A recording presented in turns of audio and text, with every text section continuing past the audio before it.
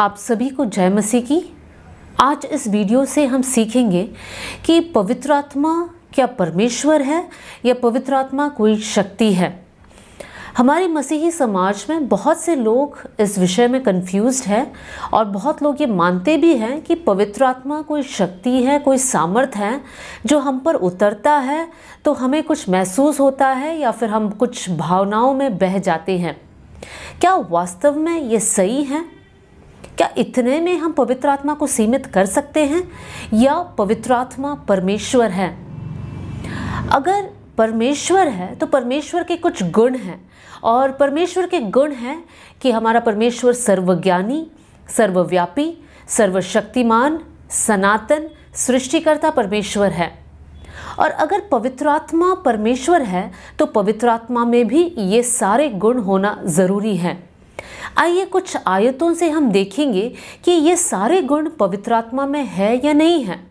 सबसे पहले भजन संगीता एक सौ उनतीस का सात और आठ में हम इस प्रकार पढ़ते हैं। मैं तेरी आत्मा से भागकर किधर जाऊँ? या तेरे सामने से किधर भागूं? यदि मैं आकाश में चढ़ूं तो तू वहाँ है। यदि मैं अपना बिछौना अधोलोक में बिछाऊं तो वहाँ भी तू है। यदि मैं भोर की किरणों पर चढ़कर समुद्र के पार जा बसूं तो वहाँ भी तू अपने हाथ से मेरी अगुवाई करेगा। इस आयत से हमें पता चलता है कि हम पवित्र आत्मा से छिप नहीं सकते हैं। इस आयत साबित करता है कि पवित्र आत्मा सर्वव्यापी है।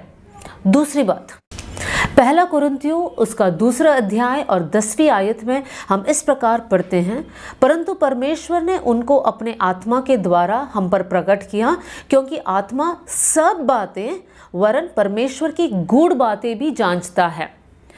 इस आयत से हमें पता चलता है कि पवित्र आत्मा सर्वज्ञानी है, अर्थात वो सारी बातों को और गूढ़ बातों को भी जानता है। तीसरी आयत लूका का सुसमाचार उसका पहली अध्याय और पैंतीसवीं आयत में इस प्रकार लिखा है, पवित्र आत्मा तुझ पर उतरेगा और परम प्रधान की सामर्थ तुझ पर छाया करेगी, इसलिए वो पवित्र जो उत्पन्न होने वाला है परमेश्वर का पुत्र कहलाएगा। इस आयत के द्वारा ये साबित होता है कि पवित्र आत्मा असंभव बातों को संभव करता है। मतलब पवित्र आत्मा सर्वशक्तिमान है।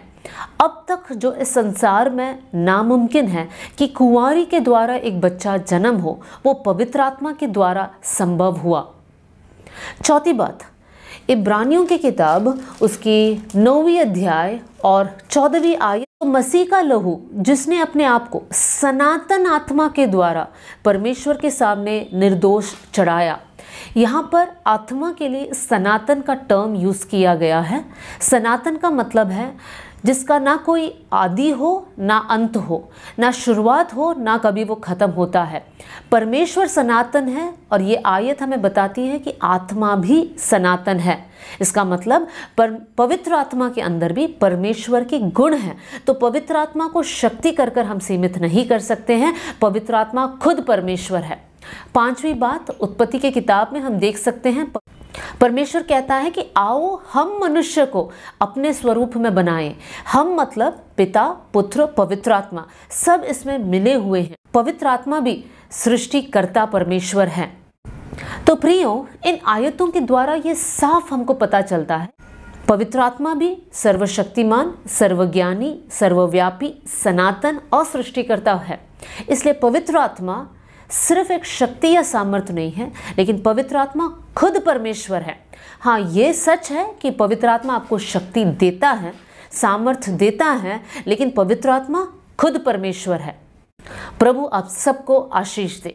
अगर आपको इस प्रकार के वीडियोस और स्टडीज़ पसंद हैं तो कृपया इस स्टडी के लिए आप सब्सक्राइब करें। प्रभु आपको आशीष दे।